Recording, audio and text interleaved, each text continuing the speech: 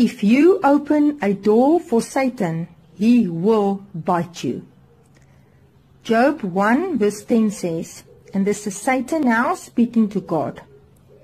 Have you not put a hedge of protection around him, around Job, and his house, and all that he has on every side?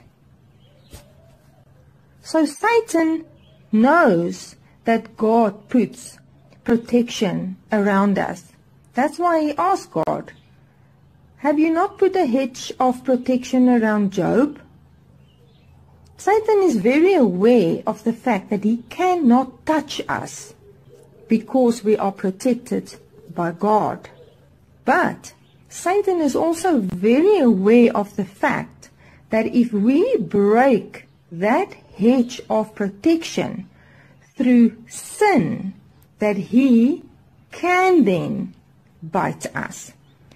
Ecclesiastics 10 verse 8 says, Whoso breaketh a hedge, a serpent shall bite him.